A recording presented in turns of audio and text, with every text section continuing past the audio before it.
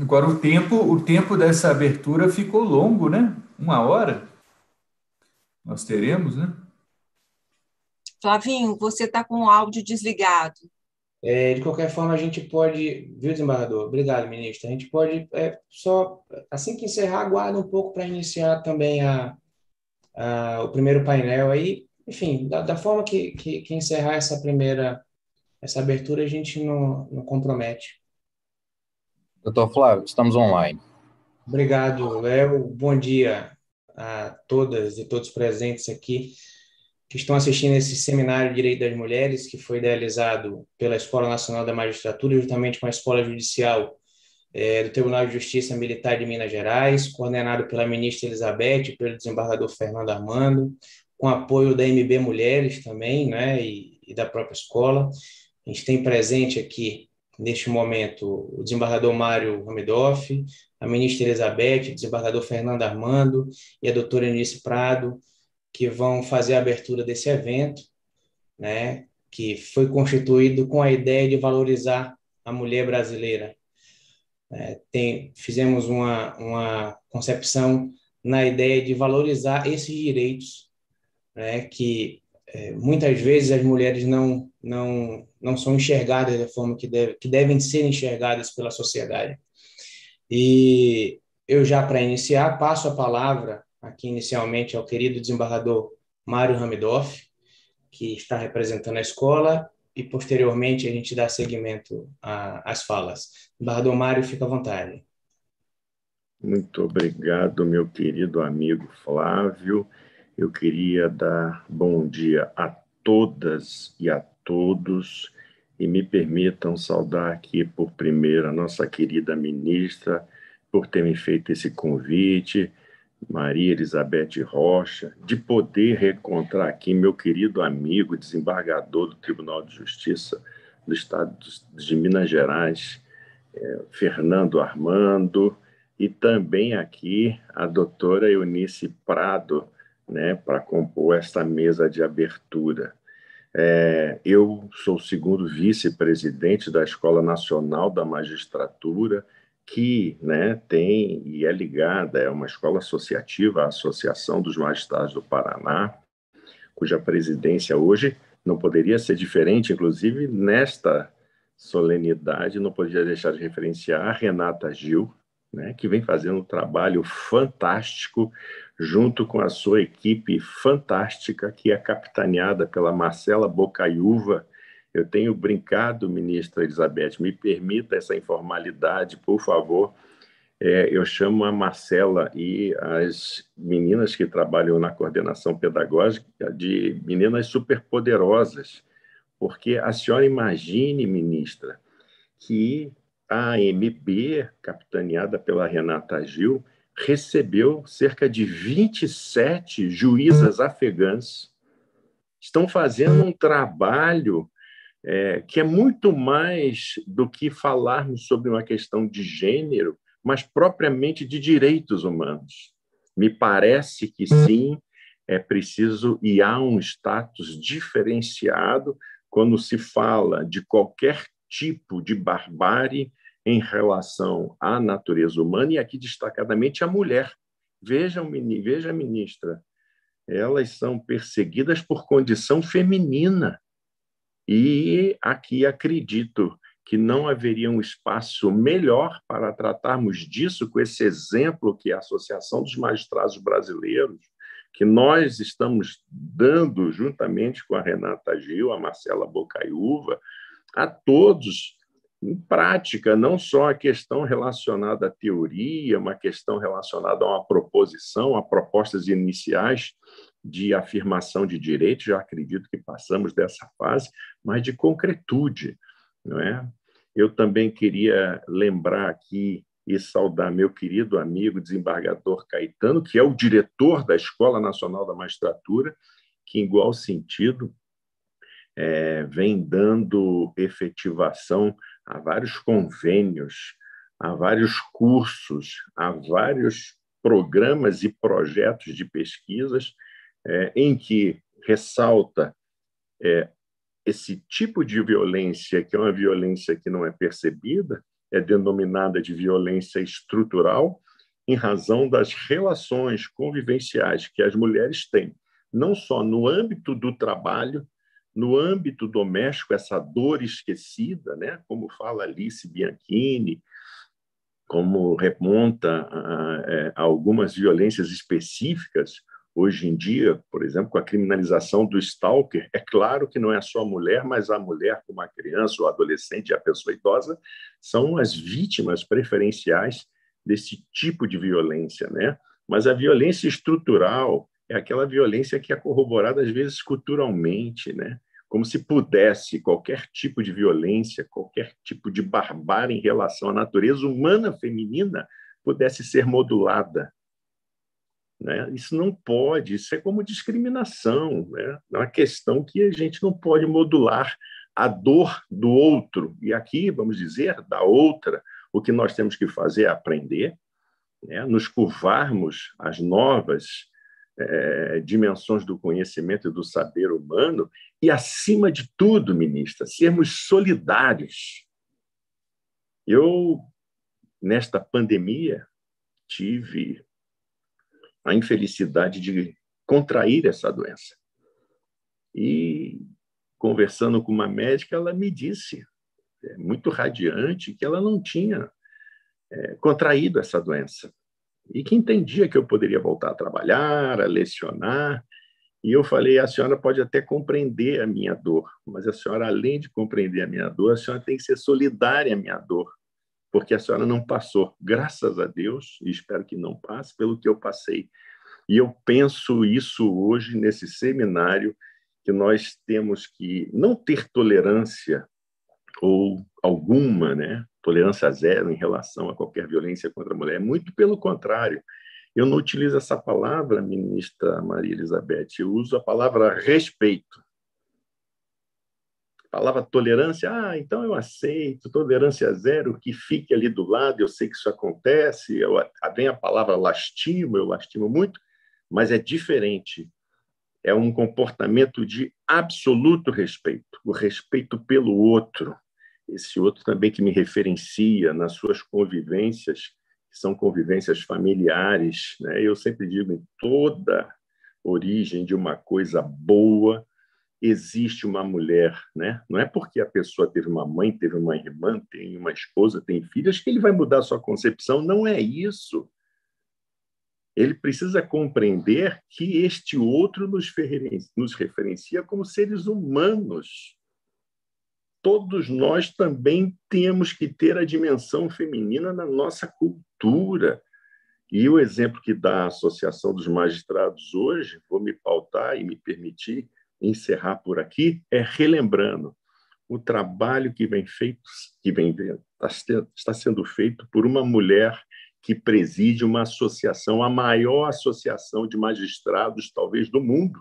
Que, claro, outros países não têm uma associação, apesar de ter mais juízes, terem mais juízes e juízas, que é o trabalho da doutora Renata Gil, junto com a Marcela e sua equipe, no tratamento desta, no acompanhamento dessas juízas afegãs que sofrem, digo aí sim, em razão de um regime político, uma perseguição em razão da condição feminina. Eu penso, ministra Elizabeth Rocha, me permita trazer essa simbologia para esse evento, que nós possamos repensar a nossa condição como seres humanos a partir do feminino. Isso me parece fundamental. Por isso, por me dar a palavra, ministro, eu agradeço a senhora, me coloco à disposição, me penitencio publicamente de não ter preparado melhor para poder estar aqui, mas espero ter trazido uma imagem da Escola Nacional da Magistratura, cuja diretoria é formada pelo Fernando, pelo Eunice, pelo Flávio e principalmente pelo nosso diretor, o desembargador Caetano. Espero que todos tenham um excelente dia, um trabalho proveitoso né, nas palestras que serão certamente é, de conteúdo valioso, né? muito mais do que isso, nós precisamos aprender com a diferença, isso me parece absolutamente necessário, e que permaneçamos todos nós com muita saúde, que me parece é o que mais precisamos nesse momento. Obrigado, ministra, eu lhe devolvo a palavra e muito obrigado a todos. Obrigado, desembargador Mário. O senhor falou da Covid, inclusive ele teve com a gente, ministra, no direito parlamentar, tinha saído realmente da, da Covid. Inclusive, está até mais corado agora, desembargador, está mais fortinho. Quando o senhor apareceu outra vez, o senhor tinha emagrecido bastante por conta da doença. Lembro bem disso. É, eu passo a palavra para a doutora Eunice Prado, tá, que representa a MB Mulheres no evento, para a sua fala na nossa abertura. Doutora, fica à vontade. Bom dia para a senhora. Bom dia, Flávio. Bom dia a todos. Bom dia, ministra Maria Elizabeth. Bom dia, desembargador Fernando. Bom dia, desembargador Mário é, todos que estão nos assistindo né, pelo YouTube. É, meu nome é Alice Prado, sou juíza do Tribunal de Justiça de Pernambuco é, e represento a MB Mulheres. Na verdade, eu participo de três órgãos da MB. A MB Mulheres, representando a região Nordeste, a, o Laboratório de Inovação e Inteligência da MB, eu sou também membro da, é, do laboratório é, pela Justiça Estadual, são dez membros lá, cinco de representando cada região do país, os outros cinco cada ramo da magistratura brasileira. E também sou professora da Escola Nacional da Magistratura e da Escola de, de, de Magistratura de Pernambuco, a Escola Judicial de Pernambuco, a nossa ESMAP. E a minha área de atuação é tecnologia aplicada ao direito. Inclusive, estou na programação amanhã para falar um pouco sobre esse tema. Né? Então, eu venho, assim, é, é, trazer as novidades que estão acontecendo do ano passado para cá e o que é que virá para 2022 no âmbito da MB Mulheres, né?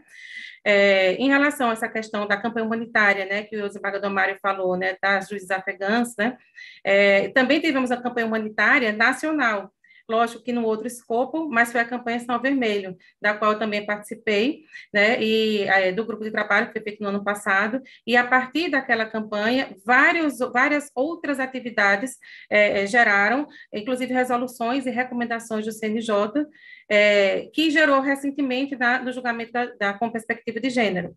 Né? Então, veja quantas novidades nós temos do ano passado para cá, é, em diversas pesquisas também do CNJ, alterações em resoluções importantes de concurso, é, por exemplo, aquela questão da, da prova oral, não é prova oral não, da, da, daquela fase né, de entrevista reservada, que não mais existe após as pesquisas realizadas. É, a questão também do assédio sexual e moral, que esse tema não era tratado antes e agora existe uma resolução. Outra resolução importantíssima também, muito recente, é, do CNJ, que é aquela resolução que trata dos magistrados que têm necessidades especiais ou são mães e pais de filhos com necessidades especiais. Então, isso era um regramento que não existia, e que agora existe também no CNJ, também é muito recente. Então, todas essas novidades do ano passado para cá, é, é, que são objeto dessas, de, do Departamento de Pesquisa Judiciária do CNJ, em parceria com o MB, em parceria também com a Infam. Eu também sou mestranda do mestrado, da primeira turma do mestrado profissional da Infam, ah, né? E lá nós estamos desenvolvendo uma pesquisa que será é, lançada no ano que vem, provavelmente na, na, no período de março, né, porque é o mês da mulher. Nessa pesquisa, até hoje existem nove pesquisas, as principais, que tratam dos, dos, dos direitos das mulheres é, no Poder Judiciário, né, em termos de participação institucional feminina. Mas essas pesquisas não contemplam toda essa revolução que nós estamos vivendo depois da pandemia. Então, essas questões de home office, teletrabalho, é, uma série de, de novidades que outra coisa também não há pesquisas no, no, direito brasileiro sobre específicas sobre interseccionalidade na magistratura. Há pesquisas com algumas perguntas, mas elas precisam ser melhor aprofundadas. Também não há pesquisa, como eu falei, sobre a questão das necessidades especiais. Então, é, vejo to, todos esses temas eu estou mencionando porque eu vi que constam da programação desse evento, né, sobre direito das mulheres. Então, eu vi que há painéis sobre interseccionalidade, há painéis sobre pessoas com deficiência, há painéis de tecnologia aplicada ao direito, há painéis sobre é, violência doméstica também, da qual juízas também podem ser vítimas. E o nosso exemplo mais drástico né, foi o do ano passado, vai fazer um ano, com a, a, a nossa é, é, querida colega Viviane do Amaral, e que gerou até um prêmio, né? existe um prêmio do CNJ, Viviane do Amaral, para boas práticas no judiciário de combate à violência doméstica, inclusive em relação às juízas quando são vítimas. Então, é, eu queria mencionar também que a resolução 255 do CNJ, que foi um divisor de águas para a participação institucional feminina, ela contempla só dois artigos, né? Um trata da participação institucional feminina em cargos de administração, e o outro artigo trata da participação institucional feminina nas escolas judiciais. Né, não só nas bancas também de concurso, mas também como professoras, palestrantes e componentes de mesa.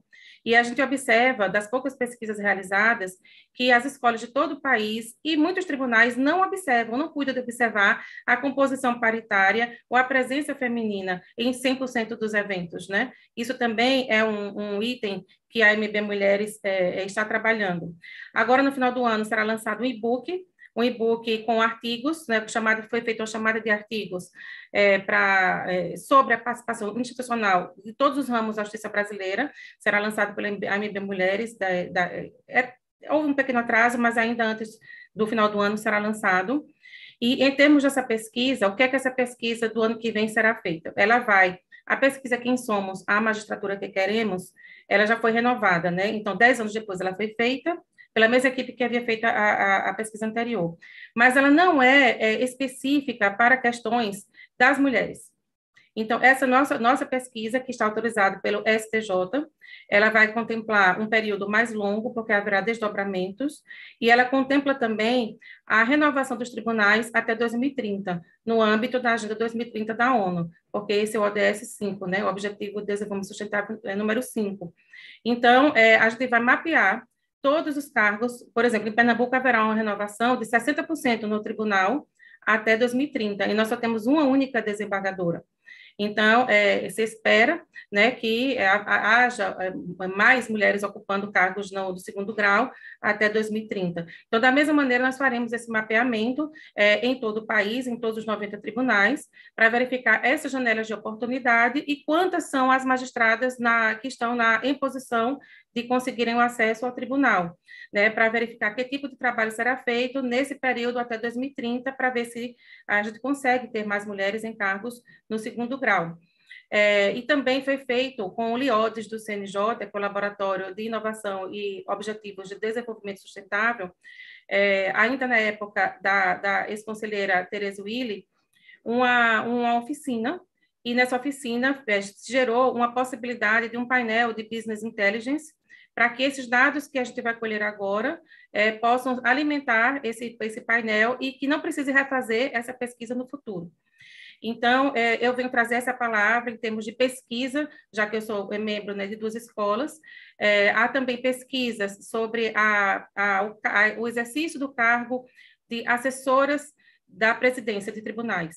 E o que, o que é que isso traz é, em relação a essas mulheres, né, que acabam ascendendo ao tribunal, porque o que a gente percebe é que, é, justamente por não participarem de, de eventos, a, a, questão da maternidade, a questão de diversos outros compromissos que sobrecarregam a mulher, isso não só no Brasil, mas no mundo inteiro, acaba não fazendo é, é, é todo o, o, o, planejamento de carreira que seria que, que os colegas homens fazem e que conseguem ascender na carreira. Então, é, nós estamos também planejando como fazer para quebrar o teto de vidro. Então, com base na melhor doutrina internacional. Então, esse é o trabalho da MB Mulheres, são dois ramos, né? Um ramo em termos da mulher magistrada e a participação institucional da mulher no Poder Judiciário, e outro trabalho que fazemos é em relação à mulher jurisdicionada. Então, a mulher que ela é, é, vai no, no, no, nos fóruns de todo o Brasil como usuária do serviço de justiça que é prestado, né? E também nas vítimas de violência doméstica. Então, a MB Mulheres trabalha em todos esses aspectos e também na questão agora da tecnologia aplicada ao direito para, é, é, é, é como é que eu digo, fomentar melhor o que está acontecendo. Com a campanha Vermelha, a gente percebeu que a questão das políticas públicas são muito difíceis de implementar no Brasil, porque nós estamos falando de um país de dimensões continentais, com 27 unidades da federação. Né? Então, as realidades são muito diversas, os orçamentos dos tribunais são muito diversos. É, é um problema que é um wicked problem, um problema de alta complexidade. Então, é preciso uma, um, um, pensamento em conjunto. Por isso que o Laboratório de Inovação do MB está participando de eventos junto com o Fonavide, para que os colegas da área possam dizer o que é que está sendo necessário e que isso possa se transformar em possíveis e futuras políticas públicas. Então, esse é o nosso trabalho que está sendo realizado desde que Renata Gil assumiu né, a presidência. Quando ela assumiu, é, a AMB tinha mais de 70 anos e nunca tinha tido uma mulher na presidência, e agora tem. E com todo esse, esse trabalho que vem sendo feito, é, é, com essa equipe toda, para 2022, nós queremos fazer essas entregas em termos de pesquisa e em termos de, de é, produtos tecnológicos que melhorem a, a vida da mulher usuária do sistema de justiça brasileiro. Era isso que eu queria pontuar. Muito obrigada.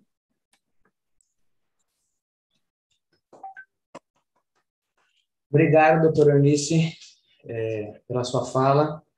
Seguindo aqui a programação, eu passo a palavra ao desembargador Fernando Armando, presidente do Tribunal de Justiça Militar de Minas Gerais, para fazer sua saudação. Desembargador Fernando, fique à vontade. Bom dia a todas as pessoas presentes a essa sala virtual e a todos que nos assistem pelo nosso canal do YouTube.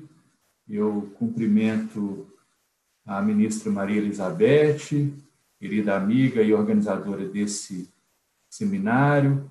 Cumprimento o desembargador Mário Hamidoff, que aqui representa a Escola Nacional da Magistratura, representando, bem representando o seu presidente, nosso querido desembargador Caetano Levi.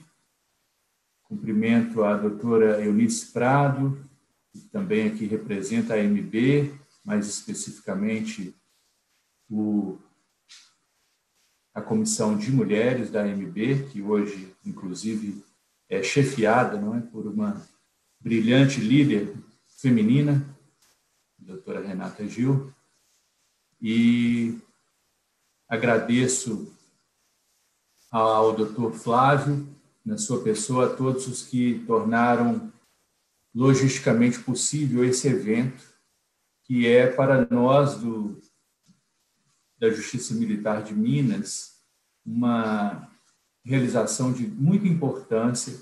A escola recebe com muita honra hoje a abertura desse seminário, certa de que as luzes trazidas pelos professores e professoras que aqui debaterão esses temas tão atuais, tão candentes, tão profundos, tão cruciais para a vida da humanidade no século XXI, são luzes que atingirão também a jurisprudência da nossa corte, que atingirão os meios militares, as casernas, atingirão, guiçar as normatizações de estatutos, inclusive de normas é, das corporações militares, que muitas vezes talvez ainda precisem de uma revisão para se colocar ao lado das conquistas mais recentes da, do direito da mulher.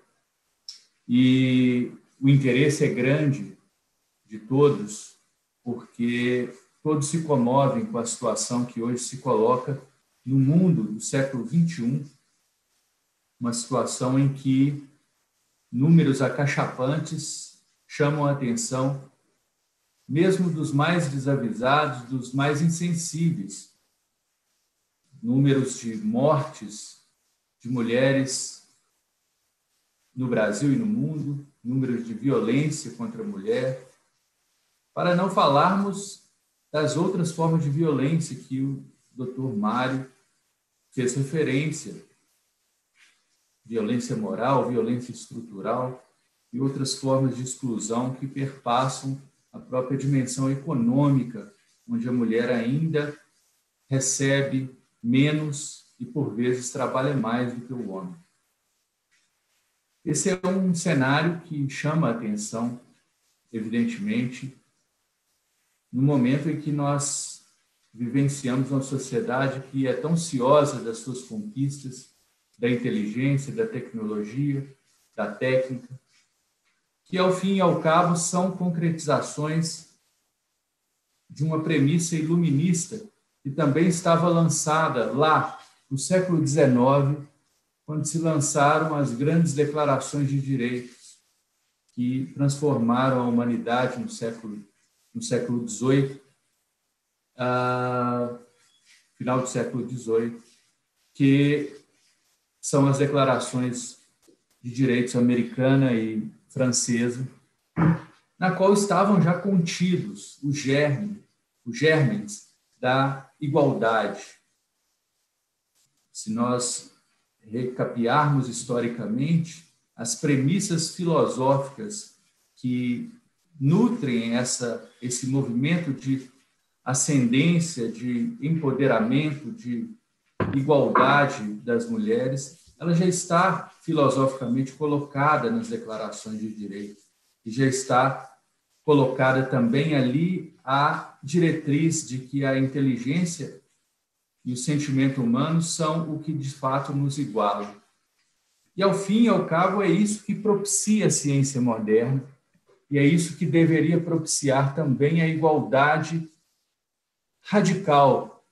O fim de toda essa celeuma de castrações, de restrições, de violências que se dão em torno desta luta de gênero. Infelizmente, apesar de as leis ali já estarem colocando principiologicamente essa possibilidade, e já no início do século XX, outras tantas regulamentarem direitos eleitorais da mulher, regulamentarem direitos trabalhistas, nós sabemos que como Drummond de Andrade disse, Carlos Drummond, grande poeta mineiro, as leis não bastam, os lírios não nascem das leis. E rios de tinta e de sangue, infelizmente, têm corrido para afirmar essa verdade e concretizar de uma forma mais perfeita uma igualdade que desejamos que seja breve. Eu imagino, ministra Elizabeth, que a minha alegria de sediar essa, esse encontro no nosso tribunal hoje, ela se justifica também por um dado que acredito seja muito importante. Se as leis não bastam e os lírios não nascem das leis, como diz Carlos Drummond de Andrade, há algo que, que talvez não baste, mas seja fundamental seja muito importante para a transformação mais efetiva dessas desigualdades, entre as quais a desigualdade de gênero. E eu me refiro à transformação da cultura. Histórias e narrativas importam. A forma como nós contamos sobre a mulher e a mulher tem a oportunidade de dizer sobre ela mesma importa e muito.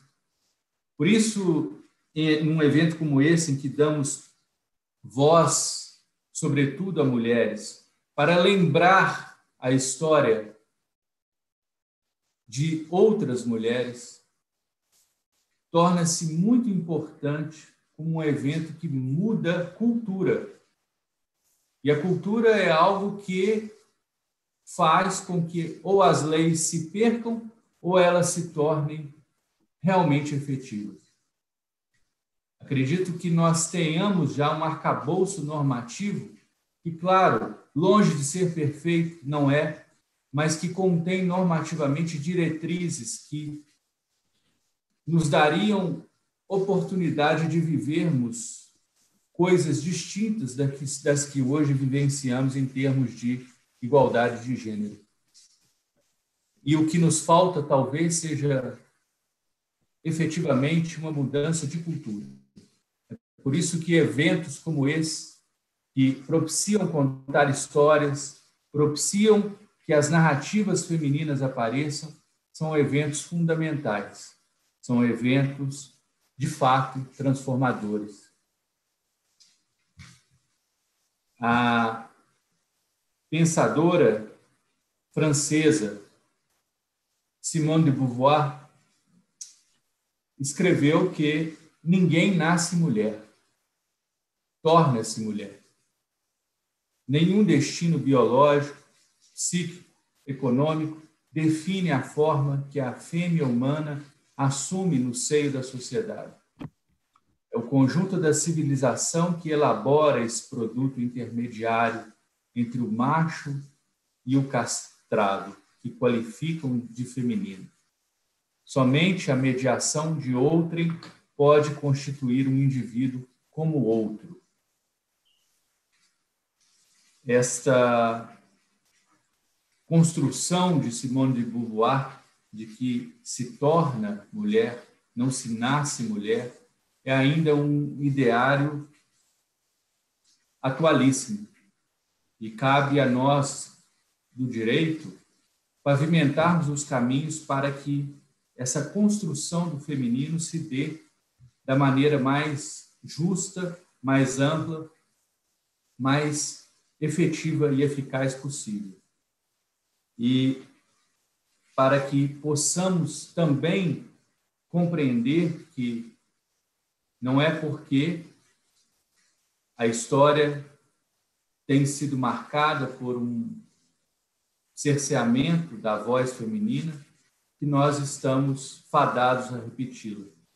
Afinal, no germe dessas mesmas grandes declarações de direito estava uma premissa que é fundamental, uma premissa também do iluminismo do século XVIII, de que a nossa história não é nosso código, disse Voltaire.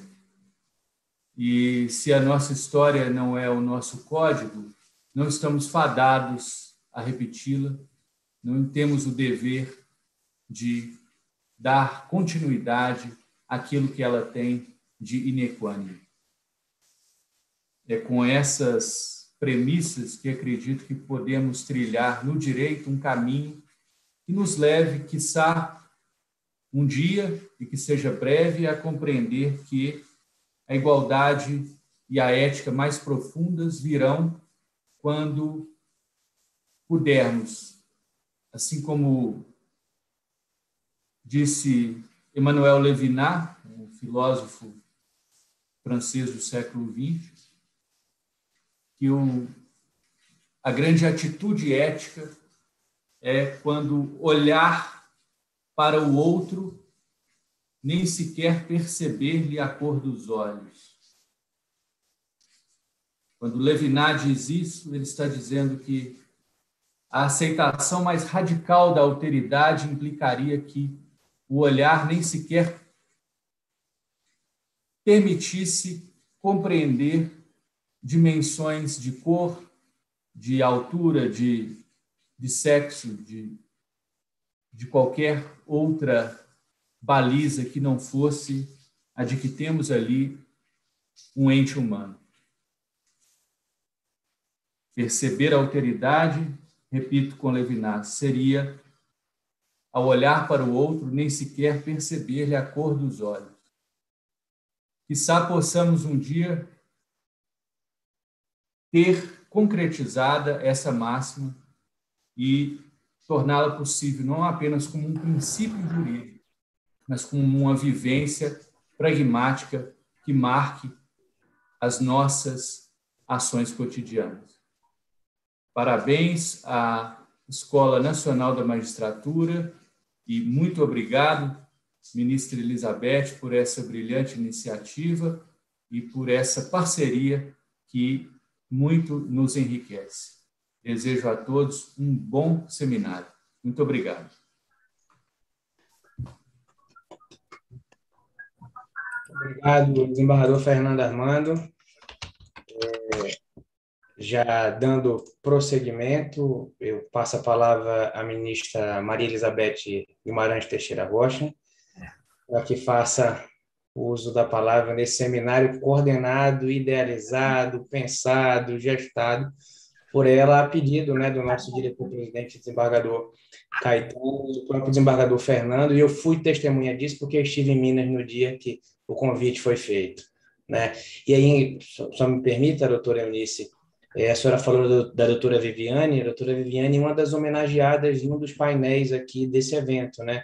A ministra é, pensou, teve essa ideia de cada um dos painéis homenagear uma mulher, né? Enfim, então a gente construiu dessa forma e, e, e, é interessante que a ideia é essa, homenagear. Ministra, por favor, a senhora tem a palavra, vamos lhe ouvir. Muito obrigado mais uma vez por toda a parceria. Muito obrigada, meu bom dia, senhoras e senhores, magistradas e magistrados. Eu os cumprimento nas pessoas dos queridos amigos, os ilustres presidente Fernando Armando, desembargador Ramidoff, doutor Eunice Prado, desembargador Ivone Caetano, e doutor Flávio Henrique, bem como da doutora Silvia Santiago, professora da Unicamp, que participam desta abertura. Eu envio aqui o meu caloroso abraço à Lita Saldanha e à Adriana, que nos acompanham de Espanha. É um prazer tê-los todos conosco. E eu inicio dizendo, brevemente, que a expressão os direitos das mulheres são direitos humanos foi cunhada nos anos 90 é, portanto, muito recente, apesar de nós comemorarmos mais de sete décadas da Declaração Universal da ONU.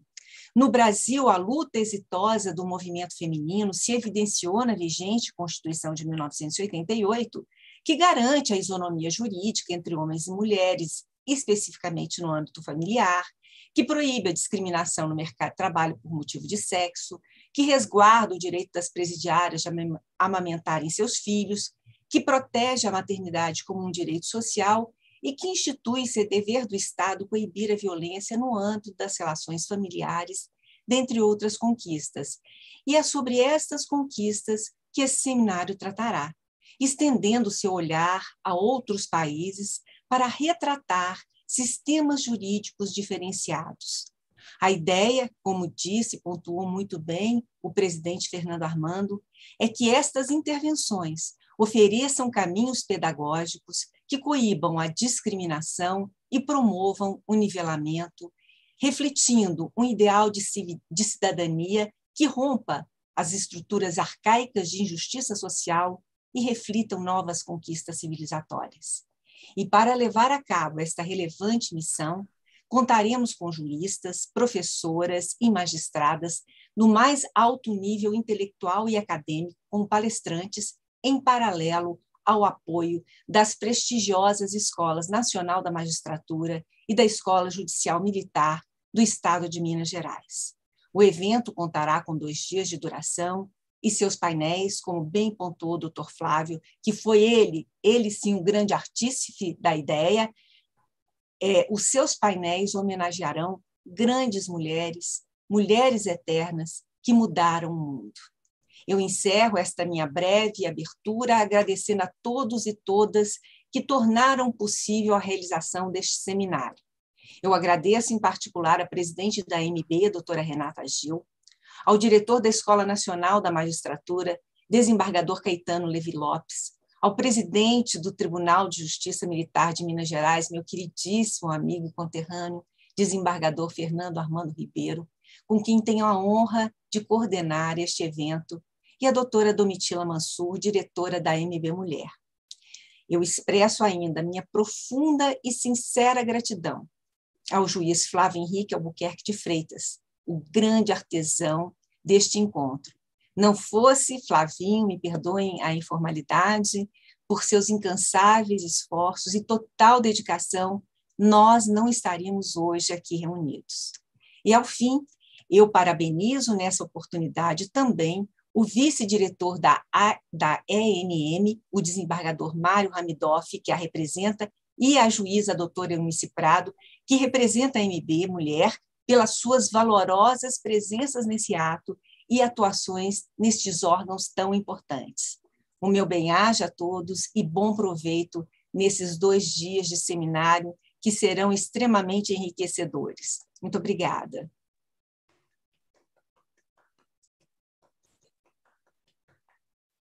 Bom, eu agradeço, ministro, as palavras, mas é, devolvo à senhora todos os louros do evento. É da senhora, não sou eu. Eu sou apenas um operador aqui tentando ajudar Vossa Excelência. E aí também lembrando do desembargador Fernando, né, que no dia de anteontem nós conversamos à noite e conseguimos é, compor algumas técnicas aí para estar tá rodando e está maravilhoso. Eu agradeço mais uma vez em nome da escola, nacional, em nome, e aí eu falo pelo desembargador Fernando, da Escola também Judicial do Tribunal de Justiça Militar de Minas, que foi que é parceira da Escola Nacional, desembargador Mário, desembargador Caetano, doutor Eunice, a ministra, a nossa querida presidente Renata Gil, né, para essa abertura ter acontecido e estar tá seguindo a gente a gente teve é, muito apoio, graças a Deus. Então, é, eu agradeço a todos, todos os presentes aqui nessa sala virtual e no YouTube. e se me permitem, dou por encerrada a nossa abertura, tá? E já em continuidade, até pelo horário, a gente tem 10 minutos para iniciar, né? E a técnica nos passou que não vai haver, é, é, como eu digo, intervalo dessa abertura, por uma questão técnica, não vai encerrar a apresentação no YouTube. É, eu já já estamos aqui com a mesa composta, né, ministra, para o primeiro painel, né? E o primeiro painel, e aí me permitam só fazer uma contextualização. É, nós temos o colega Josenildo Dourado Nascimento, que vai ser o mediador desse painel, está conosco já aqui na sala. Bom dia, o colega, que é meu colega de magistratura e de concurso lá no Amazonas. E eu contextualizo por quê? Porque o, o doutor Josenildo, colega Josenildo, é o único juiz da vara da violência doméstica no meu estado. Né? Nós temos quatro varas, né, Nildo? Salvo engano, ou três, e ele é o único homem que é titular. E a ministra, ministra, esse pensamento foi seu, pelo amor de Deus. Ela pensou que é, é, formatou o curso que as palestrantes fossem mulheres e os mediadores fossem todos homens, né?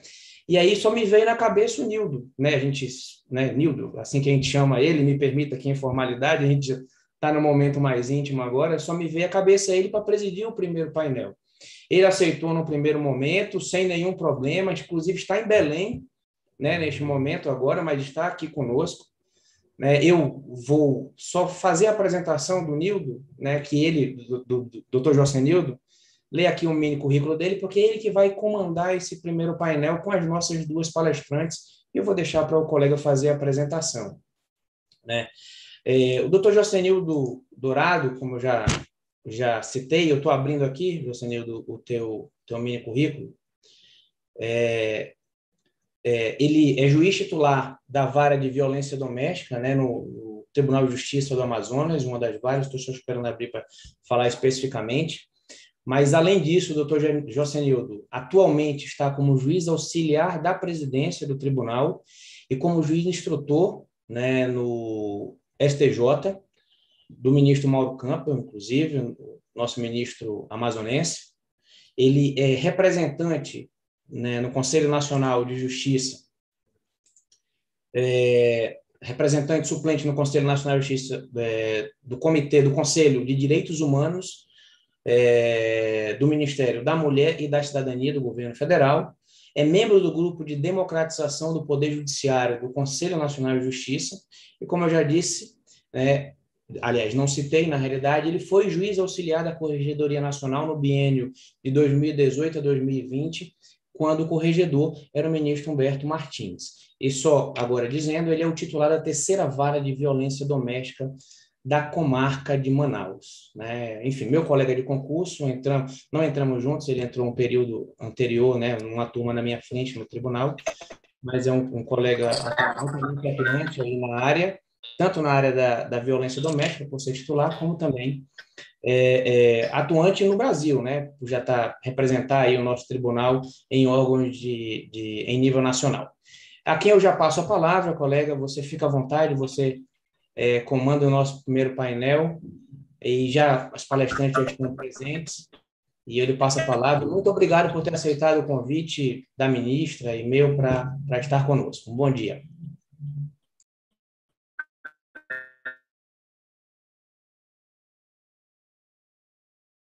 Está sem o som, José.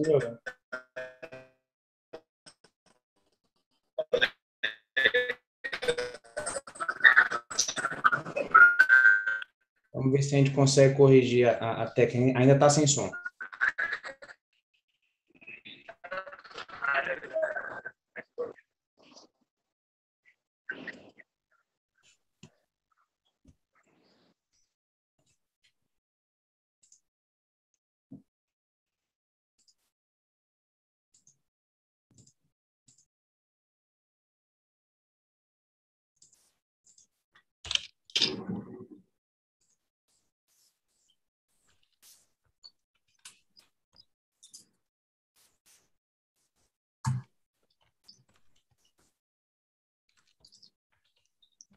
Bom dia.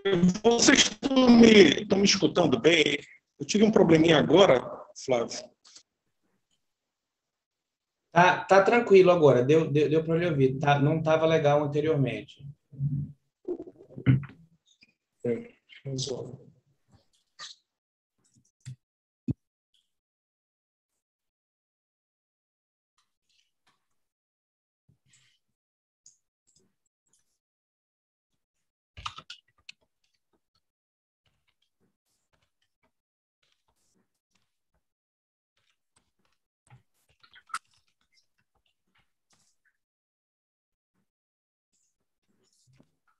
Ver se nós corrigimos a técnica.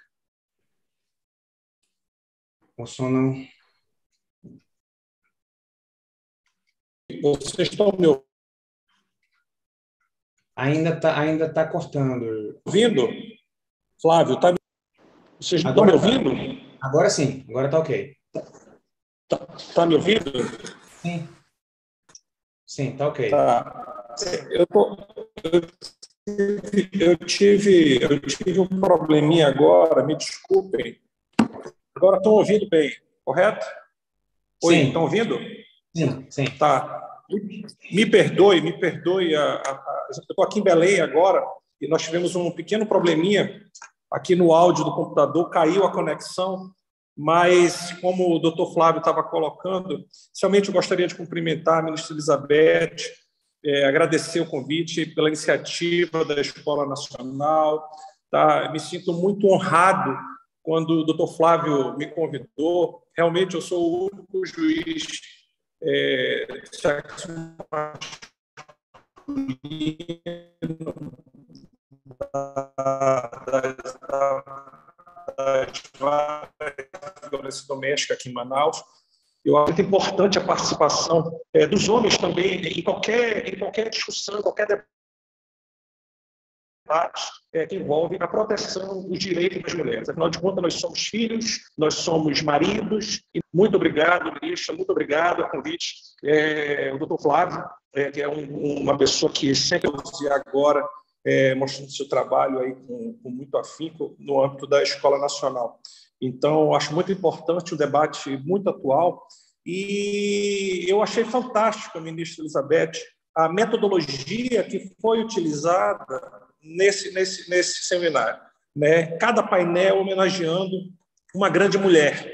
Né? E eu tenho uma honra de, de, de compartilhar esse, esse painel, ter uma honra de,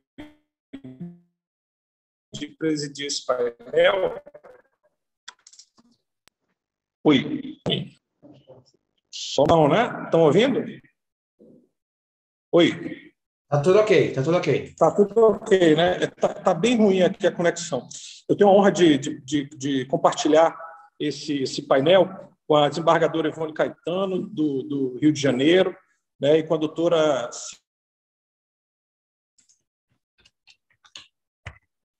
Maria Santiago, médica, né, que dá com excelentes é, palestras no dia de hoje.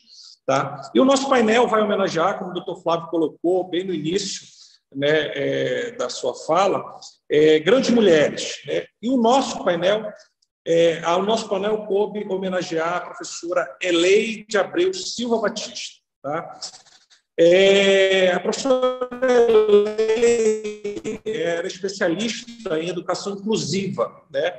Era mãe de três filhas, né? uma mulher mãe de três filhas, tendo perdido um filho afogado numa piscina em um trágico acidente é, ocorrido em sua casa. A professora Lei, ela ficou conhecida por ter no dia 5 de outubro de 2017, inocente, localizada, é, salvou de uma ação criminosa, cruel e desumana de um vigia noturno que ateou fogo nas instalações da creche, bem como nas próprias crianças. Né? No momento do, do, episódio trágico, a professora Elei distribuía pipocas e doces crianças, explicando-lhes a magia do cinema. Para salvar as crianças, a professora Elei travou luta corporal com o criminoso né? e ajudou a retirar diversas crianças, o que fez com que tivesse 90% do seu corpo queimado pelo fogo, causando lesões que a levaram à morte. O ato de bravura da professora Elei foi a do Ordem do Mérito Nacional pós-morte. Este evento, ao homenagear grandes mulheres brasileiras, não poderia fazer melhor homenagem do que lembrar desta grande brasileira, que, em troca de sua vida, salvou a vida de 25 famílias, mantendo a alegria de pais, mães e irmãos de conviver com aquelas crianças que foram salvas por seu ato de bravura. Ato que, sem dúvida, foi movido pela coragem e pela força que só as mulheres possuem, mas, acima de tudo, pelo amor de mãe, insuperável e incomparável, e que permitiu que sua vida fosse trocada pela vida de 25 crianças que ela salvou. Professor Lerei, onde quer que esteja, receba nossa admiração, respeito e orações. Que Deus brinde sua família, suas filhas que aqui ficaram, com bênçãos e gratidão eterna daquelas famílias que, graças ao seu ato de coragem, bravura e de amor, puder, podem seguir em frente com seus filhos. Muito obrigado. É, dando continuidade, dando continuidade a, a nossa nosso primeiro painel, gostaria de passar a palavra à desembargadora Ivone Caetano, Tribunal de Justiça do Rio de Janeiro, né, que vai nos brindar na perspectiva da interseccionalidade. Desembargadora, seja bem-vindo. Prazer, uma honra compartilhar a minha história e a palavra. Bom dia a todos e a todas. O prazer é meu de estar aqui, nesse seminário tão necessário, né? até porque se fala dos direitos das mulheres que ainda estão sendo usurpados. É isso. Eu agradeço muito à ministra Elizabeth, que me convidou, e também ao doutor Flávio, que manteve contato e me deu as coordenadas para aqui estar. Agradeço muito a este convite. Tema que me coube falar é sobre o direito das mulheres e o desafio na perspectiva da interseccionalidade. Interseccionalidade, como todos nós sabemos, é um conceito sociológico referente às interações e imbricamento dos marcadores sociais. É o interligamento, interdependência das relações sociais de raça, sexo e classe. É um tema que permite melhor compreensão das desigualdades e da sobreposição de opressões e discriminações nesta sociedade. São os marcadores que recaem sobre o ombro das mulheres, em regra das mulheres negras, e referentes às relações sociais de gênero, raça, etnia, cor da pele, sexo, classe social, idade, locação geográfica, relacionando-se entre si, demonstrando que o racismo, as estruturas patriarcais e o sexismo são inseparáveis, que excluem indivíduos ou grupos de, diversas formas. O conceito de interseccionalidade das opressões de desigualdade foi cunhado em 1989 por Kimberly Crenshaw. Esse nome é difícil, hein? Vocês me desculpem, mas não deve ter saído direitinho, não. Crenshaw para a concretização do acesso das mulheres aos direitos humanos. Concluindo que as discriminações de gênero interagem com outras categorias estruturais, como raça, produzindo processo de exclusão que se tornam barreira ao acesso a direitos, sendo a interseccionalidade também uma ferramenta com grande potencial para melhorar esses processos e minimizá-los a partir da Declaração dos Direitos Humanos, em meio a tantas atrocidades, barbaridades cometidas entre as duas guerras mundiais, o discurso sobre direitos humanos passou a ser adotado em grande parte dos ordenamentos jurídicos ocidentais. Emergindo aí a busca dos instrumentos e ferramentas que proporcionassem colocar em prática e efetivar as garantias fundamentais baseadas nos direitos humanos. Por outro lado, foi possível reconhecer que a interseccionalidade traz grande contribuição para a maior compreensão da complexidade do acesso igualitário das mulheres aos direitos humanos. Em se tratando de interseccionalidade, direitos humanos, viabiliza-se o tema raça, passou a ser visualizado, principalmente quando esse conceito passou a ser utilizado pelos movimentos negros, baseado na interpretação de que o termo raça é a forma pela qual se dá a discriminação racial no Brasil. Raça é o termo que se consegue dar que consegue dar a dimensão mais próxima da verdadeira discriminação contra os negros. Se dá a dimensão do racismo que afeta as pessoas negras nessa sociedade. E por que isso? Porque o, o, o, o termo de raça mesmo foi criado pelos europeus, principalmente aqueles que invadiram a África de lá, raptando um número violento de seres, destruindo todo pela pela pela diáspora, diáspora todo pelo o mundo quase latino todo. A partir de 1980, vários debates foram produzidos e começou-se a colocar em xeque a distinção entre gênero e sexo, enquanto categorias distintas, uma pela cultura, que é o gênero, e a outra pela natureza, que é o sexo. Da mesma forma, surgiram grandes debates quanto aos movimentos feministas,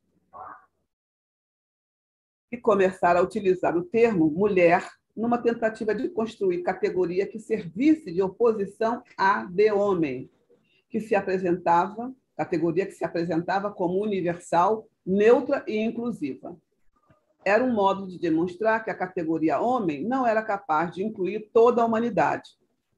Em seguida, foi percebido que a própria categoria mulher também parecia pretender uma universalidade que não era coerente com as vidas cotidianas de diversas mulheres que buscavam no feminismo um movimento que representasse sua demanda e reivindicação as mulheres negras não se sentiam incluídas na bandeira e na luta promovida pelo movimento, que era quase totalmente de questões relevantes para as mulheres brancas. Mais do que isso, inúmeras vezes o próprio movimento feminista acabava sendo espaço de perpetuação da heteronormatividade do racismo. Nesse contexto, Kimberley observando que aquele modelo invisibilizava a mulher negra na conceituação, identificação e remediação quanto à discriminação de raça e gênero, sendo limitada pela experiência dos grupos mais privilegiados. No caso do movimento antirracistas, os privilegiados não são os homens negros. E no caso da discriminação de gênero, as privilegiadas são as mulheres brancas. Cabe ressaltar e pontuar que esta situação permanece até a presente data. O fato que as mulheres sofrem violência, as mulheres, em regra, sofrem violência, em regra não, um, grupo de mulheres, né, e cada dia está aumentando mais, sofrem violências domésticas. Violência obstetra é para a mulher negra. Intolerância religiosa, em regra, para as mulheres negras racismo institucional e todas as variantes de racismos a este atos, em regra, não são visibilizados pela sociedade. E sofrem efeitos, as mulheres negras sofrem efeitos da subordinação múltipla, tendo os seus passos obstaculizados para acessar as, os espaços de poder e os benefícios em direitos humanos recaem sobre os ombros das mulheres negras todos os marcadores sociais. É isso que se chama, é isso que se dá o nome de interseccionalidade. E é isso, senhores, que eu tenho a falar para os senhores. Até hoje, a mulher negra ocupa o último espaço, o último patamar da pirâmide social brasileira. Mesmo com todos os avanços obtidos, mesmo com todo o conhecimento, nós já temos muitas mulheres que se igualam ou ultrapassam o conhecimento de outras mulheres. Não é assim, doutora Silvia? Nós já temos muitas, mas mesmo assim elas são obstaculizadas de várias formas, sobre vários tipos de, é, é, de vários tipos de contenção, principalmente as instituições, é, principalmente o emprego do, do, do, do preconceito institucional. Eu acho que já está na hora já existe a Declaração Universal dos Direitos Humanos, do qual o Brasil é, é, é signatário. Então, este é um, é um, dos problemas que devem ser revistos e verificar que no Brasil isso não está sendo respeitado. Por outro lado, também há o desafio de se é, impedir, obstaculizar o aumento da, da, da, da, violência contra a mulher, e principalmente contra a mulher negra, o aumento da violência obstetra, o aumento da intolerância religiosa, tudo isso terá que ser banido. E eu acho que as políticas públicas é o melhor, a melhor forma para se conseguir esse resultado. Mas, entretanto, essas políticas não, não bastam constar no papel. Elas têm que ser realmente implementada. Era isso que eu tinha a dizer. Muito obrigada pela, pela atenção. Obrigada. Obrigada.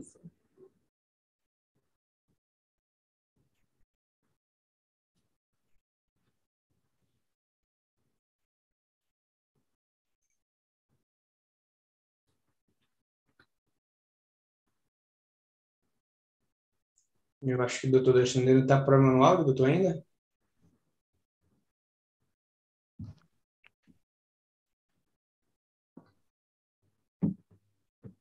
Doutor Alexandre? Não estou te ouvindo. Está problema no áudio.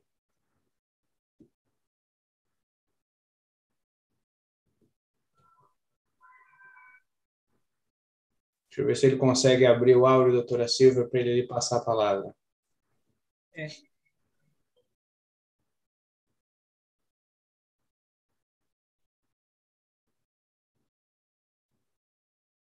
A gente comentava aqui no chat, eu e o Dr. Josenildo, que a gente tem um grande problema na região norte com a questão da, das conexões.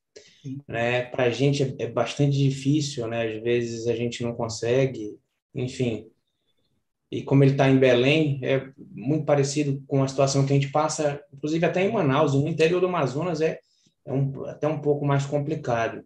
Eu até recebi aqui um feedback, aproveitando enquanto ele está tentando corrigir, e aí uma forma da gente é, dividir a ideia, acho que foi a doutora, doutora Elbina, que falará com a gente também, ela mesma. Ela falará no, no, no dia 2, ela citou Doutor, deu certo, doutor Chinelo?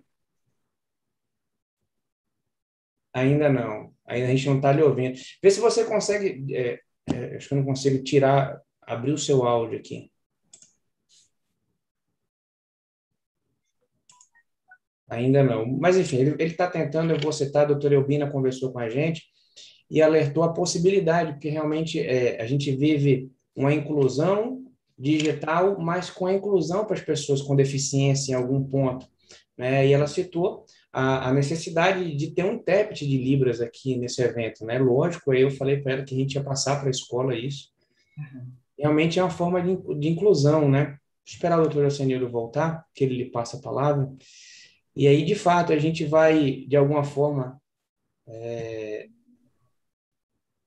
É, sim, sim a gente vai, de alguma forma, tentando o, o, é, aprimorar, né, e até a descrição, né, para os deficientes visuais, né, de é, até entender como é que a gente está vestido, né, ter uma ideia da gente, porque eles enxergam pela palavra, né, seria uma forma da gente, da gente fazer. De qualquer forma, a gente está aguardando o Dr. Jocenildo acessar, ele deve estar tá tentando retornar, retornar. Eu, é, para a gente não, acho que ele está retornando já, qualquer forma, eu, eu já, acho que deu certo agora, Dr. Jocenildo, pelo menos apareceu o áudio conectado. Para a gente não não perder muito. Tudo certo, doutora Senhora? Ainda não estou lhe ouvindo, você está sem áudio. É, me permita, é, vai tentando resolver, eu já passo a palavra para a doutora Silvia, e aí quando você voltar, amigo, você, você retoma até para finalizar, para tentar resolver essa questão do áudio. Você está com áudio, Está ouvindo agora? Vocês estão ouvindo? Ok, fica à vontade.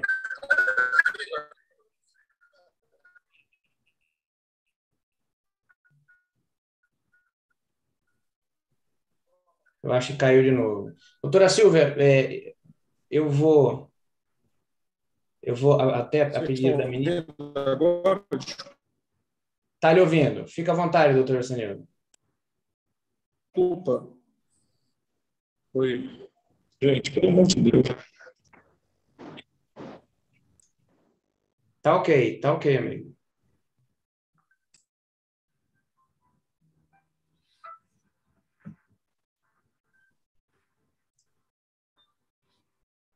Doutor Flávio, eu acho que talvez fosse o ideal, né, Vossa Excelência já começar a conduzir os trabalhos, e assim que o doutor Jorcenildo conseguir a, a, ajustar né, a, a, comunicação com o vídeo, com o Zoom, então é, nós passaríamos a palavra e a condução da mesa a ele, porque nós já estamos bastante atrasados, já são 10 e 15, 17. Então, Farei, Farei, farei isso, farei isso agora, ministra. Eu peço licença ao doutor Jorcenildo, mas em consideração também aos, aos que estão presentes, estão nos assistindo, acho que o ideal seria Vossa Excelência começar com a condição dos trabalhos e depois, né, quando retornasse o Zoom lá no estado do Amazonas, aí nós é, reencaminharíamos a palavra a ele. Sem problemas, ministra. Eu já para adiantar, é, aviso que a próxima palestrante será a doutora Silvia Maria Santiago, é médica formada pela Universidade, pela Unicamp, especialista em saúde pública, médica sanitarista, doutora em Direito à Saúde Coletiva pela Unicamp, professora livre-docente do Departamento de Saúde Coletiva da Faculdade de Ciências Médicas da Unicamp, pesquisadora em saúde da mulher, avaliação de serviços e sistemas de saúde, atualmente diretora executiva de Direitos Humanos da Unicamp, com atividade nas comissões de assessoras de diversidade étnico-racial, de acessibilidade, Observatório de Direitos Humanos, Gênero e Sexualidade, Povos Indígenas, Direito ao Meio Ambiente e Justiça Ambiental. É cátedra e cátedra Sérgio Vieira de Melo para refugiados. Doutora Silvia, eu já lhe passo a palavra, tá? enquanto o doutor Jacenildo é, ajuste as questões técnicas e quando ele voltar, ele retoma a palavra com vocês. Muito obrigado pela sua presença e muito obrigado pela palestra, doutora Ivone. Fica à vontade, doutora. Muito grata, doutor Flávio. Antes de mais nada, quero agradecer imensamente o seu trabalho e a sua delicadeza, gentileza nesse suporte que me deu. Vi que a própria é, doutora Ivone mencionou isso. Né? Muito grata pela sua, pelo seu trabalho, né? para viabilizar a nossa estada hoje aqui.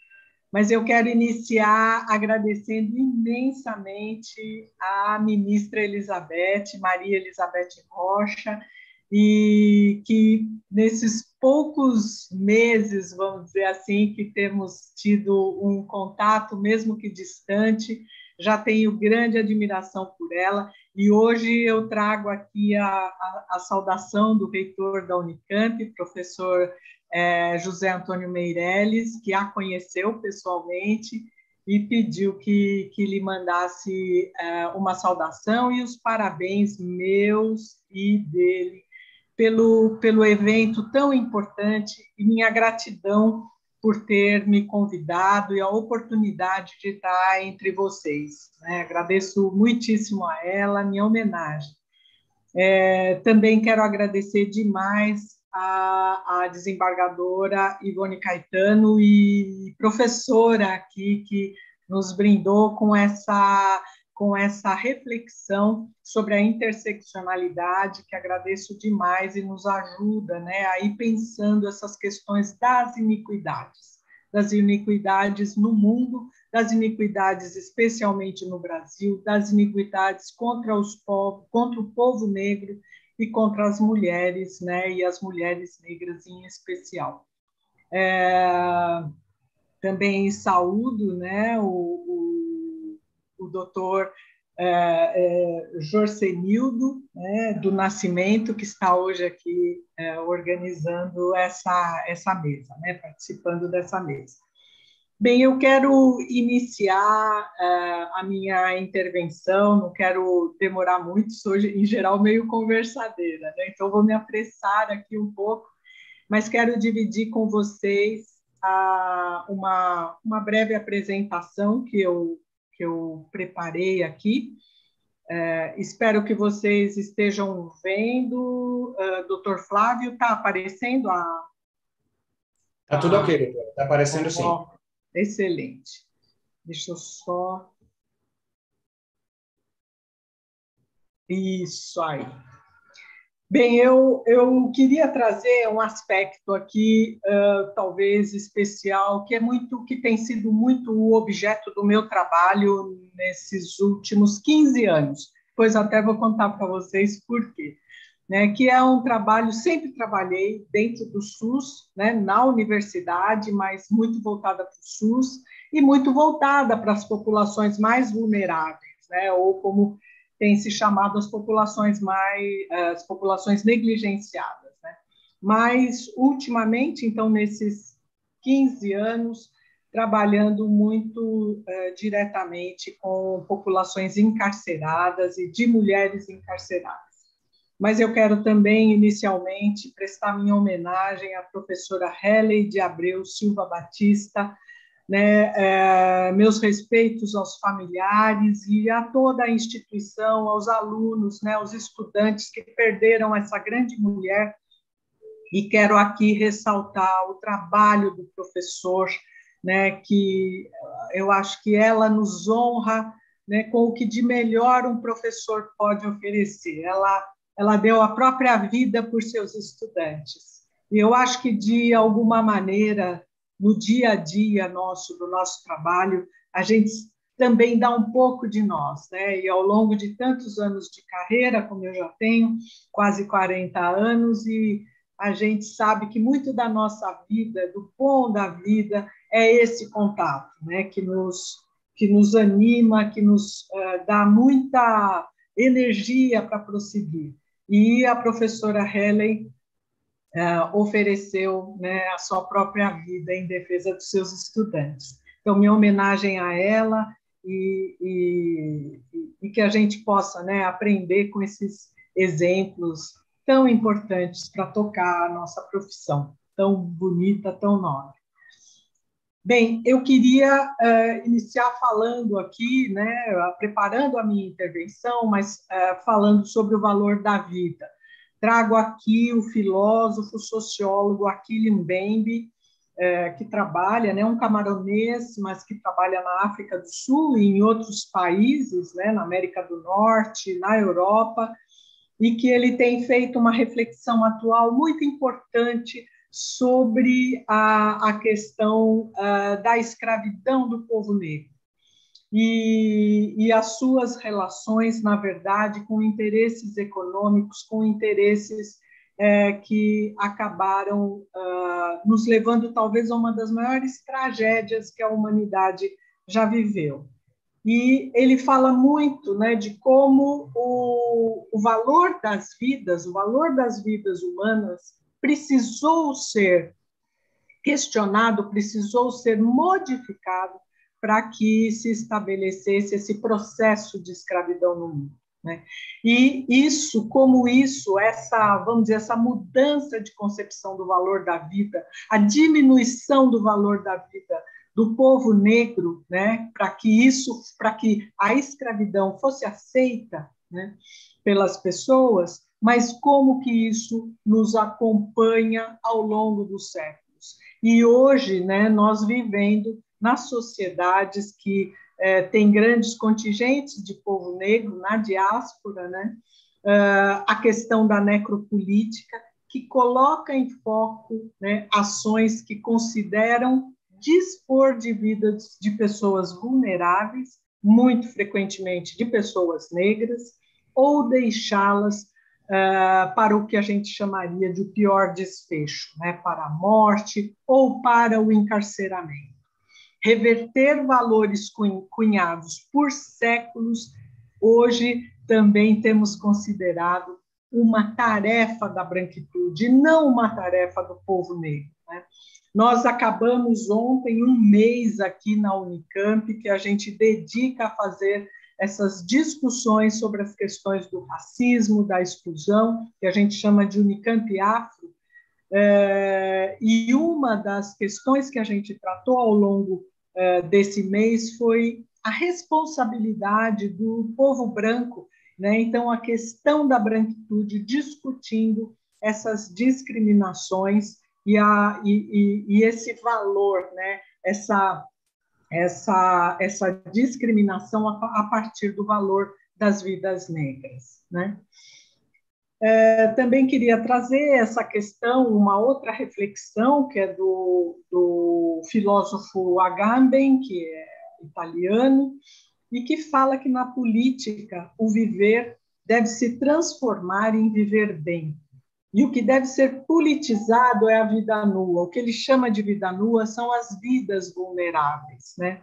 A vida nua tem na política ocidental esse privilégio de ser aquilo sobre a exclusão, sobre cuja exclusão, na verdade, se funda as sociedades atuais. Né? É a partir do excluído né, que o outro é incluído. Quer dizer, há que se ter um conjunto de pessoas humanas excluídas, né, para que você é, defina quem será incluído numa determinada sociedade. Ele ainda fala que primeiro se deve estabelecer uma ordem, a ordem social, só então é, faz sentido um certo ordenamento jurídico. É preciso criar antes uma situação de normalidade. E o que ele chama de um soberano é aquele que decide o que é normal dentro de uma, de uma sociedade e que vai garantir a, inter, a normalidade na sua é, execução, né? no que é normal dentro de uma sociedade. Esse soberano teria o um monopólio né? e a última palavra sobre isso. E nisso reside a essência da soberania estatal. Dizer o que é certo o que é errado, o que é normal, o que não é anormal, quem está incluído e quem não está incluído. E hoje a gente vê né, o, o, muitos governos né, de Estado fazendo essas definições e muito frequentemente excluindo né, a, a, aqueles que são é, participantes, né, aqueles que são os membros do povo negro. Quais são essas populações negligenciadas? Na verdade, se usa muito populações vulneráveis ou populações precarizadas. Eu prefiro utilizar o termo de populações precarizadas, porque as vulneráveis partem de um certo princípio de que a pessoa tem uma fraqueza. E, na realidade, o que temos visto na sociedade é essa exclusão, a definição de quem é ou não é aquele vulnerável. Quer dizer, a sociedade é que acaba criando condições para que populações se tornem precárias, populações não tenham as condições ideais né, para sua sobrevivência. Quer dizer, é todo um arranjo normativo e cultural. Do ponto de vista do encarceramento, né, falando do aprisionamento, é, esse arranjo das prisões ele é razoavelmente recente. Né? Foi apenas aqui no Brasil, em 1834, que começam construções de casas de correção. Né? Na capital do país, à época, né, no Rio de Janeiro, e sua inauguração foi em 1850 surgimento das prisões, com celas individuais, com toda uma arquitetura, né, um certo panóptico, né, em que de um local você poderia ver toda a, a, construção. Então, essas instituições apropriadas ao aprisionamento, elas são recentes, mas a exclusão não é recente. A exclusão é de muitos séculos. A exclusão talvez seja uma característica da raça humana, ela talvez seja de desde sempre. Né? Então, outros arranjos anteriormente a isso, a gente né, é, tem relatos na Europa que hospitais, né, manicômios eram é, locais de aprisionamento de pessoas que se desviavam das condutas normatizadas. Né? Eu trago aqui, para não me alongar demais, já passo para o Atlas da, da Violência, né, do, do IPEA, que vai falar muito da questão das popula da população carcerária no Brasil e no mundo. Né? A gente tem é, dados é, é, que esses eu busquei de 2014, porque eles mostram uma, uma, uma situação é, muito dramática que no país se faz uma, uma definição de, da política do encarceramento em massa, de forma que, em 2014, os, nos últimos 20 anos, ah, o número de pessoas presas havia aumentado em 400%. Né? Uh, na Universidade de Essex, no Reino Unido, eles têm um estudo, é um centro de estudo sobre encarceramento, e que mostrava uma média mundial, naquele então, de 144 presos por 100 mil habitantes, mas no Brasil o número chegava a 300 presos por 100 mil habitantes. Né? E isso não tem regredido. É, a gente estava né, com uh, sete, em torno de 700 mil pessoas presas no Brasil, mas com mandatos de prisão em aberto mais de 300 mil, 373 mil pessoas, o que mostrava né, uma população, que mostra uma população carcerária no Brasil acima de um milhão de pessoas, né? o que é uma população carcerária enorme. Uh, o, o, Brasil, né, a gente sabe disso, é um dos países mais violentos do mundo, com uma quantidade enorme de homicídios diários, né?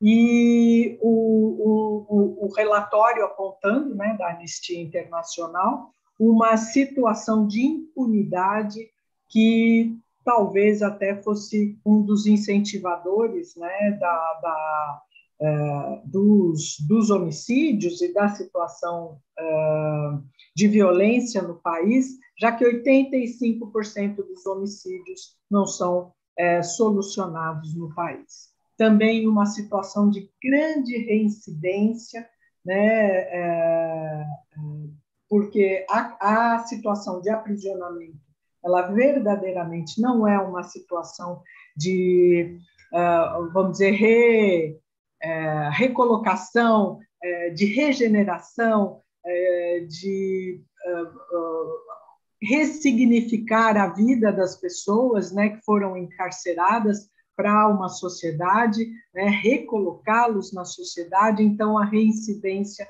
é altíssima, de forma que em torno de sete presos reincidem em cada dez, né, voltam à situação de, de crime. As, a, a, o aprisionamento tem situações de espaço e de higiene que a gente já conhece, né, com muitas doenças, doenças em série, também profissionais mal preparados. Então, a gente sempre é, vê e tem notícia daquela questão da sobrepena, é, além de estarem afastados da sociedade, a sobrepena, que são os maus tratos né, e as péssimas condições de encarceramento. São, são constantes no sistema prisional brasileiro.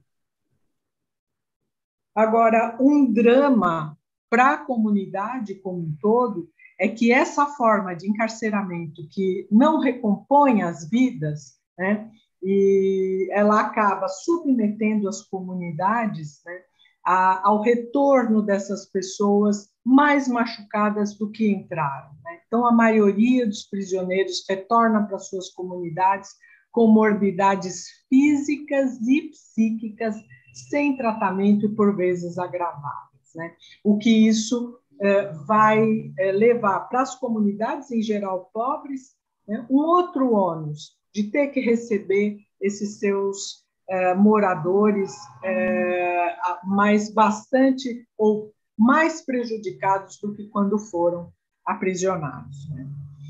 Hoje a gente tem no mundo mais de 10 milhões de pessoas é, encarceradas, mais de 2 milhões só nos Estados Unidos. Os Estados Unidos têm é, é, uma história, vamos dizer assim, parecida com o Brasil, também do ponto de vista é, da, da escravidão, né, da levada, de, de você levar aprisionadas pessoas do continente africano para lá, então uma situação um pouco parecida e que também se repete, né? A grande maioria dos aprisionamentos nos Estados Unidos é de pessoas negras, assim como no Brasil.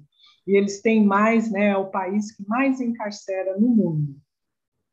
É, proporcionalmente, né? Porque a China é um país muito grande, com muitos habitantes, então, numericamente, pode ficar parecido, mas proporcionalmente, os Estados Unidos são o país com maior número né, de, de, de encarceramentos. Eles chegam a ter 756 presos por 100 mil habitantes. Né? Lembra que Excess tinha uma, uma, uma proporção para o mundo de 144 mil pessoas. Né? Então, é muito maior que a média mundial, e isso o Brasil vem acompanhando também.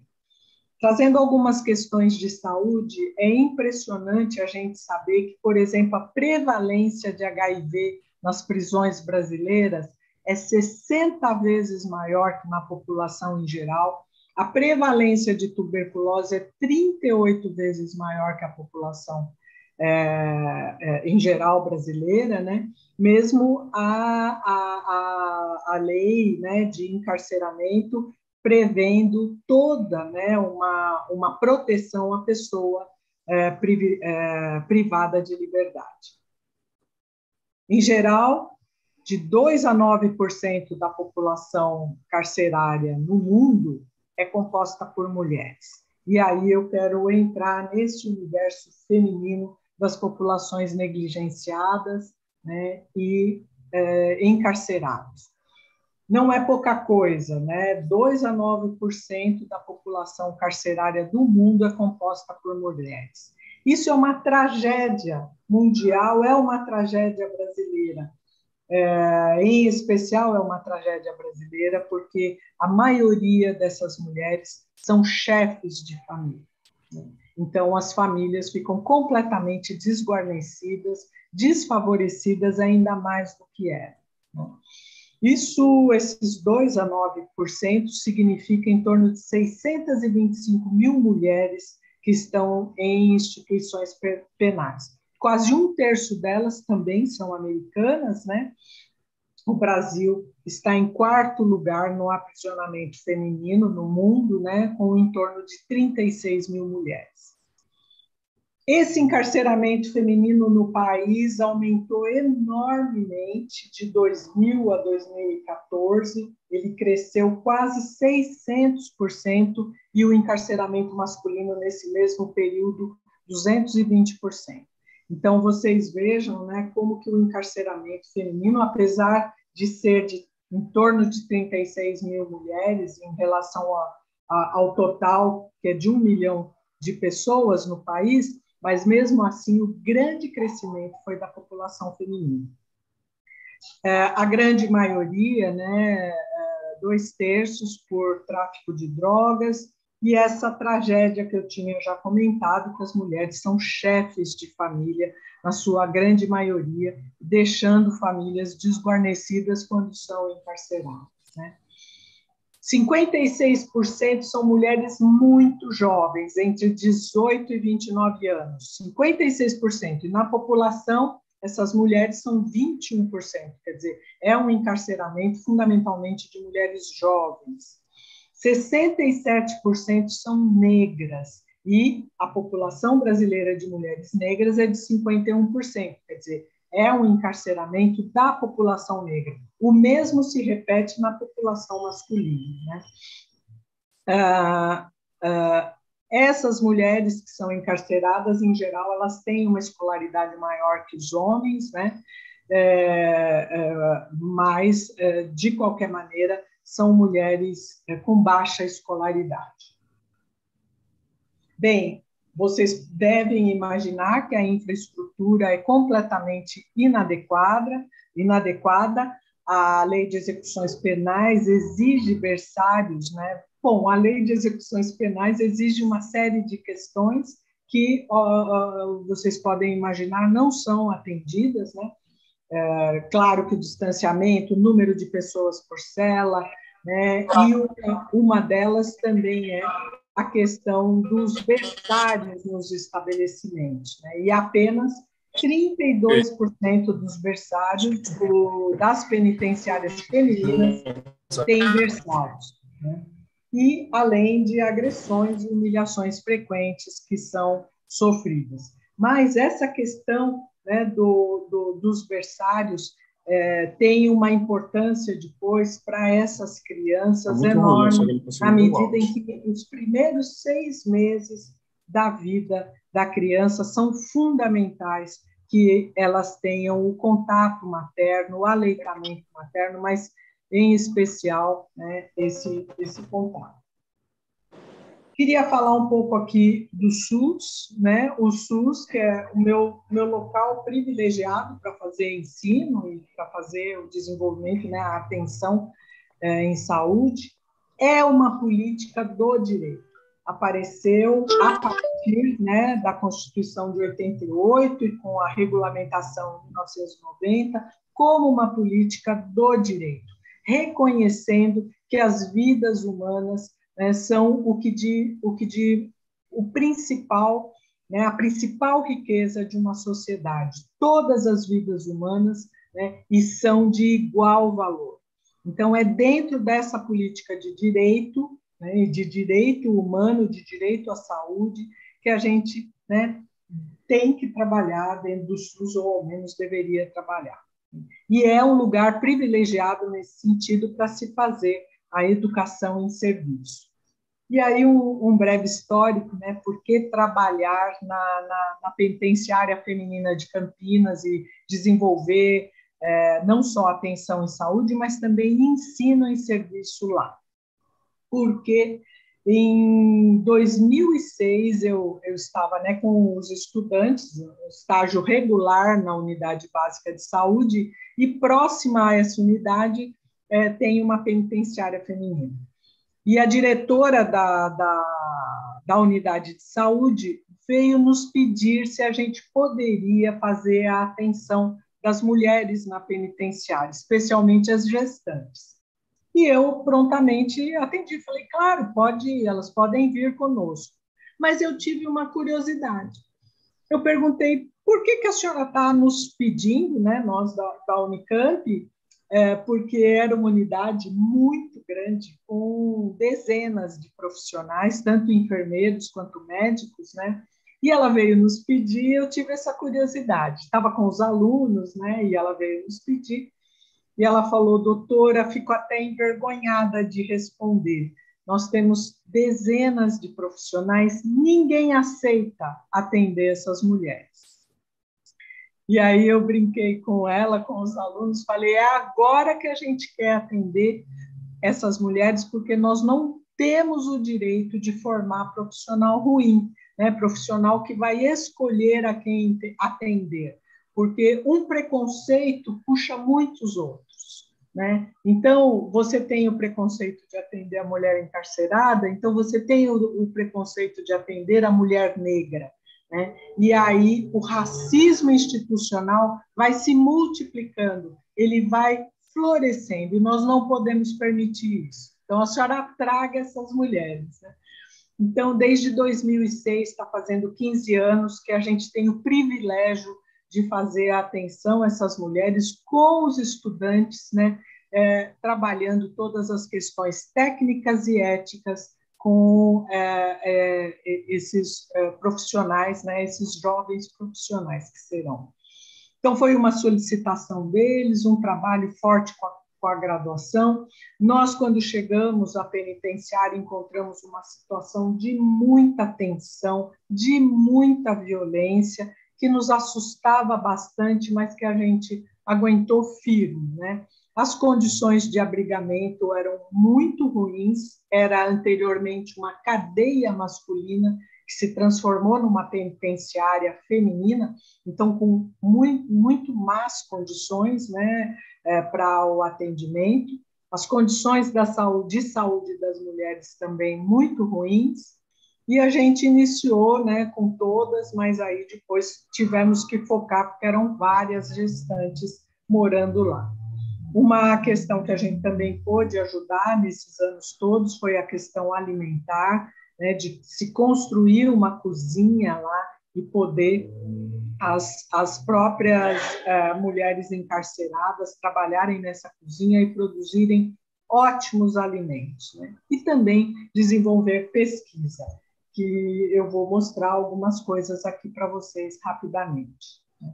Nós fizemos em 2012, 13, uh, um grande inquérito de saúde lá, né? À época, aquela penitenciária era a segunda maior do estado de São Paulo, com 1.100, um pouco mais, chegou a ter 1.300 mulheres, e a, com uma capacidade para 550, né? E, na época, estava com 1.100, a gente chegou a entrevistar e fazer exames de saúde em 1.013 mulheres que toparam fazer a pesquisa. 30 delas estavam grávidas, uma média de idade de 30,8 anos, mas tínhamos um contingente de quase 80% entre 20 e 39 anos, então mulheres jovens. É, eram daquela região, a maioria, né? 51,4 é, se declaravam não brancas, é, e há uma escolaridade muito baixa, né? 61% uma escolaridade inferior a três anos. 95,8% queriam, mas não conseguiam estudar, não tinham condições de estudar na penitenciária. 63,8% não tinham qualquer renda, tá? 88% não realizavam atividade laboral na penitenciária e desejavam realizar, mas a maior tragédia é que 80,6%, então mais de 80% delas eram mães, e a maioria com mais de um filho. Né? Isso é a grande tragédia que a gente tem visto nas penitenciárias femininas brasileiras. Né? Essas mães encarceradas e as crianças desvalidas na sociedade. Bem, nós tivemos né, vários problemas de saúde que foram identificados, mas talvez o que mais nos impressionou foi o transtorno mental comum, em torno de 66,7% das mulheres. Né? E também as questões de prevenção, de câncer de colo de útero, eh, eh, de câncer de mama e de tantos outros, de vacinação, né, eram muito precárias, quase que inexistentes uma dependência grave né, de nicotina, isso é muito frequente na, na, na, nas penitenciárias. A maioria delas fumava, mas essa é, dependência grave é quando a gente tem uma quantidade né, de cigarros ao dia muito elevada, dois, três maços ao dia. Uso de tranquilizantes também, e a grande maioria delas não praticava atividade física. E quando a gente chegou às condições de encarceramento e de alimentação eram tão ruins que mulheres na casa dos 20 anos eram hipertensas, né? estavam hipertensas, e a gente pôde, ao longo do tempo, né, é, é, diminuir essa morbidade. Elas relatavam uma violência anterior né, ao encarceramento, uma violência desde a infância, principalmente na adolescência e depois perdurando pela vida. Quer dizer, uma vida já marcada pela violência. Uma prevalência grande do uso de drogas antes do encarceramento, o que fez a gente perceber que o encarceramento pelo, é, por, por por porte de, de droga, na verdade, era um pequeno tráfico que permitia que elas fizessem uso da droga. Né? Então, na verdade, uma, uma, uma dependência química que levava ao delírio.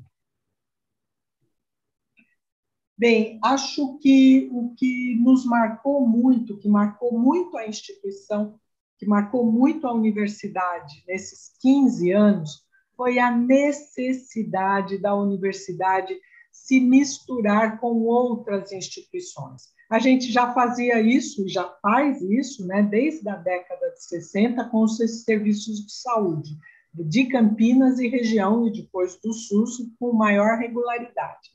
Mas outras instituições, como, por exemplo, instituições penais, isso foi muito importante para nós, tanto do ponto de vista de formação, mas eu diria que aconteceu um processo civilizatório né, na instituição penal, com a presença da universidade, eu diria com a presença dos estudantes. Eu acho que para eles foi muito impressionante ter jovens é, alunos né, lá no seio da, da instituição penal, cuidando das mulheres encarceradas e cuidando deles também, porque muito frequentemente né? Eles nos pedem ajuda, nos pedem consulta, nos pedem cuidado. Também uma população né, muito desguarnecida de cuidados.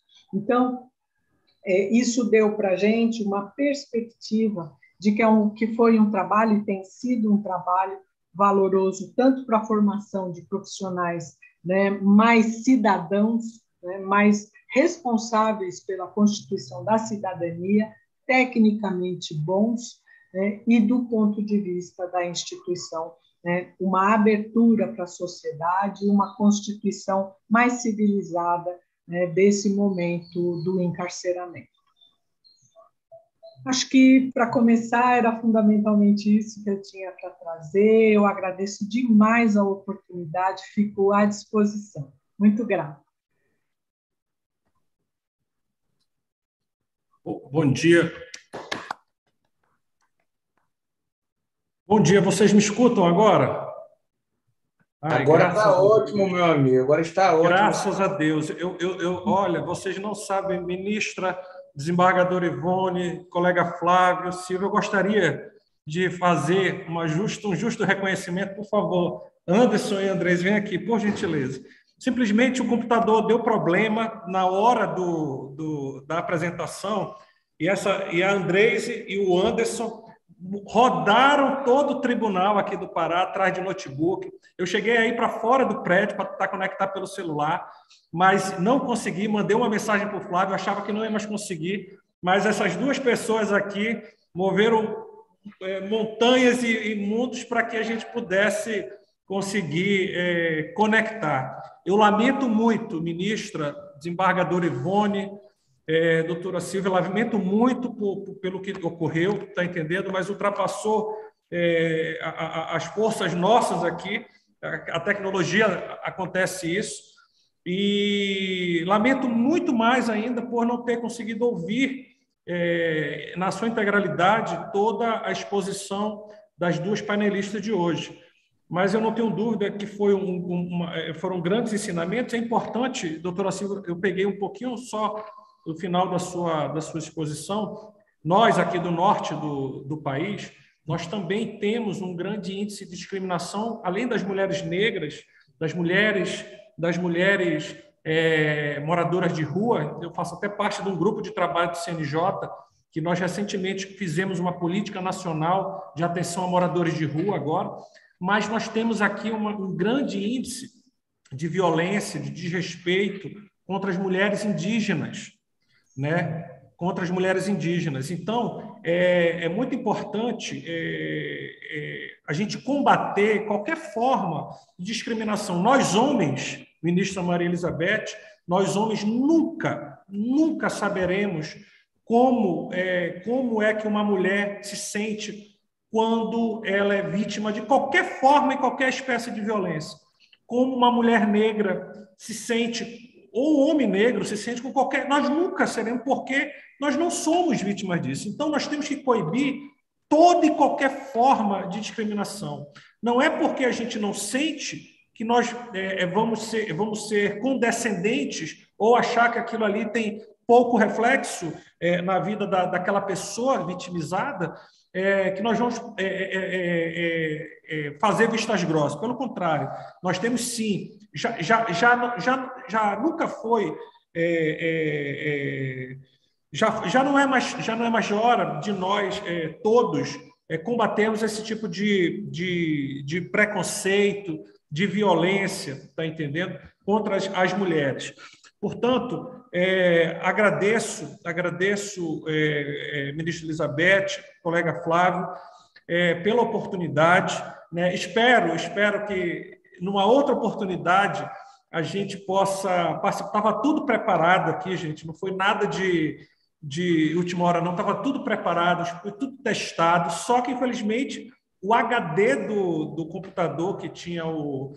deu problema na, na placa do microfone. Então, eu lamento muito, mas eu agradeço do fundo do coração, ministra Elizabeth, é, pela, pelo convite e dizer que a senhora tem ao seu lado um grande magistrado, um magistrado que, que é, é inovador, um colega que sempre busca é, o aperfeiçoamento né, fez um grande trabalho à frente da Escola Superior da Magistratura e tenho certeza ainda que tem muito a contribuir. Agradeço a oportunidade, vamos todos é, é, é, trabalhar juntos para que nossos filhos, nossas filhas, nossas mães, nossas netas, né, nossas esposas nunca sejam vítimas dessa, desse tipo de violência. Né?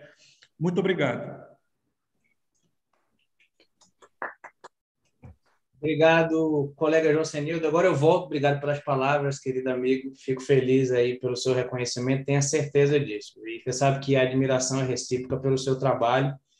Né? Eu vejo sua luta em todos os pontos que você procura aí, é, que você é chamado, você procura, não, você é chamado a ocupar e você ocupa muito bem.